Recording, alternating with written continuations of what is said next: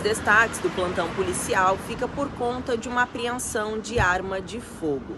Durante o patrulhamento da Força Tática pelo bairro Hércules Masson, aqui em Taubaté, um local já conhecido como ponto de tráfico de drogas, policiais avistaram um indivíduo com volume em sua cintura. Após abordagem e busca pessoal, foi encontrado com ele um revólver calibre 38 da marca Taurus, com numeração suprida e com duas munições intactas. Diante dos fatos, foi dado voz de apreensão e o rapaz foi conduzido ao plantão policial, permanecendo à disposição da justiça. Carol Nogueira para a Rede Metropolitana.